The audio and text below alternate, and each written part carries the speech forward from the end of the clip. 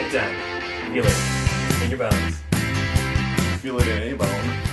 What is up? I'm Yuri from Hex19.com, and today we are playing Would You Rather, a game of wits. So uh, we have some special rules to this game. Basically, it's a test to see how well we know our fellow co-hosts. So uh, one person, starting with Brett over here, will ask a Would You Rather question to the uh, the answer of In the the hot question. seat. In the hot seat. I'm in the hot seat That's- right yeah, now. that's you this, right now. This right here is the hot seat. Uh, that seat is so hot right now. Look at so, it. so I will determine my answer to the question, write it down on the slip of paper, which is kept hidden, and then Glenn and Aaron over here need to guess what I've picked. And uh, the person who knows their fellow hosts best will win and be the ultimate champion. It's gonna be me right now. I'm gonna tell you that. No. I seriously doubt it. All right, so are you guys ready for question number one? Yeah, I think I'm so. Miss, miss, all right, this is so. This is for Mr. Yuri. Okay, so assuming you had the needed training and skills required for any of this, Okay. would you rather a be a host of any podcast on the Twit network of your choosing, or b be on any MLG Halo team of your choosing? And you're off. So Aaron and I have to discuss this. No, No. Yuri's gonna pick an answer, and then we're both gonna pick our answers. well, we, right? we can all be picking answers right now. yeah. But then you and me and Glenn, we're gonna reveal our answers first, and I'm gonna be like, Glenn, what the hell? Why did you choose that? You're stupid, and you're gonna yell at me back and stuff like that. And then Oh, Yuri okay. will reveal his answer and say, No, you're both stupid. Or at least even justify yeah, or like kinda- why you yeah. picked it. Yeah. No. Justify. Okay, so A was podcast host, and B was gamer. Essentially, which profession would you have? Would you rather Or podcast? would, would or- Yuri have? I don't know what's yeah. on what's on the Twit network. Network. A Twit network is This week in tech, tech news today. it's the one Yuri's been listening to the most. Oh, okay. I didn't want to say any podcast because he'd also obviously just pick Hex19. It is pretty much the greatest. Nah, Hex19 is pretty good. Okay, I'm locked in. I got this. I'm also locked in. Let's start with Aaron. B, the gamer. Because Yuri plays Halo religiously. Every week when we come and say, Oh, what have you done this week, Yuri? It's Halo Reach basically all the time. And he talks about all his cool strategies and informs us. So I think that would give Yuri so much joy to be a gamer. I went with A. The podcast That's a, host. that's a very small A. it, it's big enough. Like, Do you want had to this, hold this closer? You had a No? really big index card to write that on. and you like chose to make it like one line big. Well, I don't really understand. It would have but- looked messy had it been bigger. Okay, fair enough. Anyway, Yuri also listens to podcasts like five a day. But he's already hosting a Way podcast. more than five a day. Yeah, way more than five a day. And he does it so often that he doesn't need to tell us weekly like he does with Reach. It's just a given. At any mm-hmm. moment, he's always listening to a podcast. How much money does like a podcast make though? Like one of That those doesn't things? It's matter. not about the money. Yuri's It's not in not it. about the money, which is why I picked a podcast host. I didn't choose gamer because of money though. Yeah, I don't figured know. you Like would enjoy playing Halo more than Halo would be really cool, but it's like, it's like once you're good at that, it's like you can't really go any further. You You're can just like- already play Halo. but like you can be the best at Halo, and it's like not a huge deal. It's But more podcasts, about you have so much it's, room to it's more about you can make money just playing Halo. Like your job is Halo. That suppose. that would be pretty awesome, but like being a host of a podcast that people actually listen to, that would be cool. All right, so that's question number one. Okay, who's up Awesome. next? Okay, so Glenn, here's the question for you. Of these two unfavorable circumstances, oh God. which would you prefer more? Having to watch two hours of South Park or play two hours of Dragon Age 2? Which one would be not as bad as the Hasn't- other? Hmm. Okay, everyone's locked in. Brett, let's see what you chose. Okay. I chose B. I think Glenn would rather play Dragon Age 2 because I think if anything, he's already done that. So I think maybe he could like go into it knowing like knowing what to expect. He's like, oh, I just have to get through this next two hours and that. But I think I don't know. Depending on how much South Park he's watched, you know, it seems like he does not like South Park. Or it would just be like too too unbearable. Where I think Dragon Age 2 just might be a bit too mediocre. I went with a B, Dragon Age as well. All right, nice. Uh, so basically, Glenn hates Dragon Age 2, but he still finished it. That And yeah, it's that's still what I a was very thinking long about game. too. It's like t- how many hours? Like I guess the 40, que- I guess the question is, does he want to do that again at all? Just for two hours.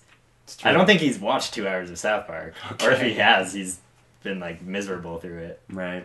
Okay, and Glenn, what did you say? B. Yes. Oh. And yes, I was miserable. It was horrible.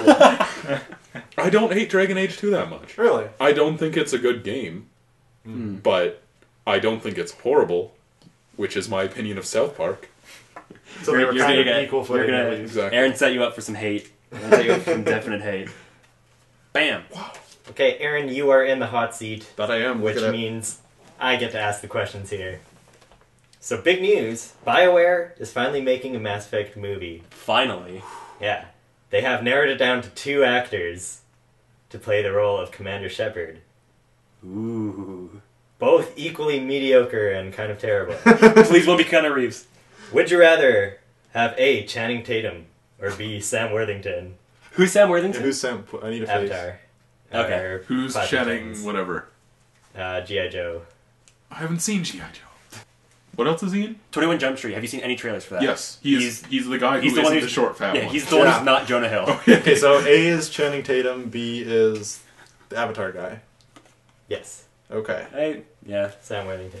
So, Brett, Brett. what do you I think? for me Aaron's this gonna- is this is obvious. I chose B. Sam Worthington. Av- like Avatar, solid in that role. Role. Mass Effect but I think ideally be on the exact same scale, exact same budget, going to planets. Sure, he might be a bit underwhelming, but I think I think his mediocrity for Aaron at least, I would say, like I think this is pretty widespread. His mediocrity is not as much as just like Channing Tatum has been in I think bad movies, so that's the way I judged it, and I think Aaron recognizes that.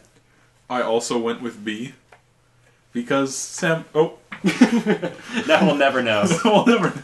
Know. Whole thing scrapped. Just stop. Sam Worthington has experience in science fiction, Yeah. so that's good. What does Channing Tatum have? Dance moves?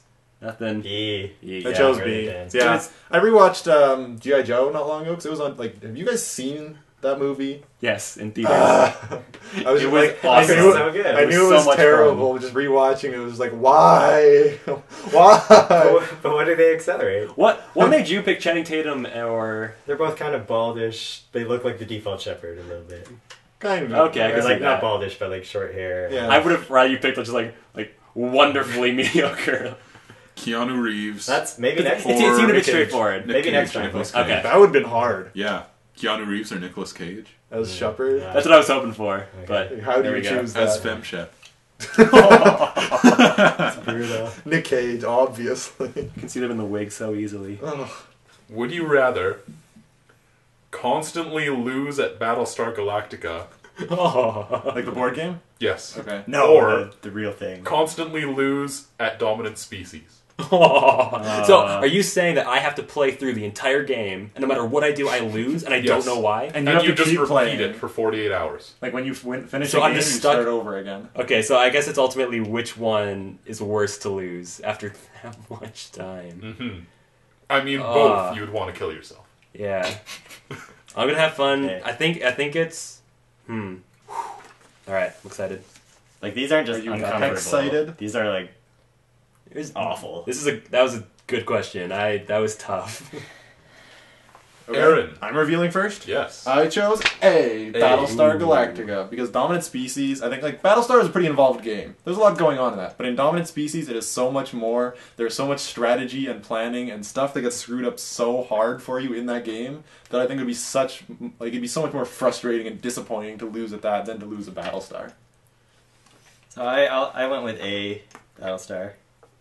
Uh, dominant species like sometimes when I win that game I'm just pissed off and like I should Battle- have asked if you would rather lose at Battlestar or win at Dominant Species. That would be tough. like Battlestar Galactica, you get the music going and you get some "So Say We All" chants going. It doesn't matter if you lose because you're, you're Yeah. you're part of the team. Like, the, mo- the part of that board game that is the funnest is interacting with other people that are playing the board game. and you bring someone down with you in Battlestar Galactica. Yeah, it's never just you that loses. Yeah, it's your Dominant team that Species is loses. Just you. Yeah, I I chose A Yay! Battlestar, but I it, w- the reason I like the question is because with Battlestar you invest so much more. It's true. Like, and you can. I guess like the big screw ups in Battlestar are almost like a role playing game screw up. So it's almost like you as your character didn't do something and it doesn't quite work out. Especially me because I always play like president or something, and I, I love having those power roles and losing that really sucks.